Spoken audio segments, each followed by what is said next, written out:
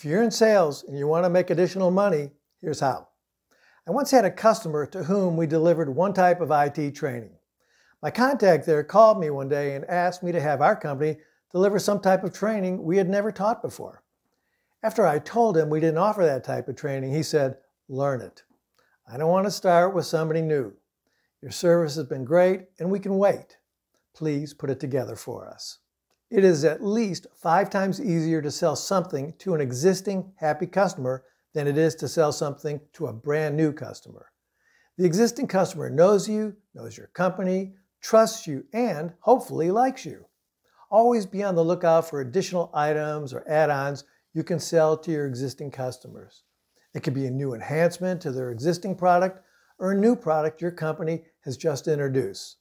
There is, however, one prerequisite prerequisite to selling an existing customer.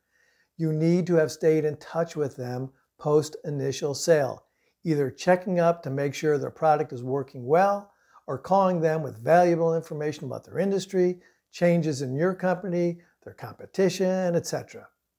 If you are good enough and provide excellent service and support, they may even call you for a new product.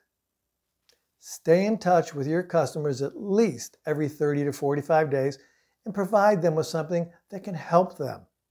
Look at your customer base today and see who hasn't received at least one phone call from you in the last 35, 45, 90 days.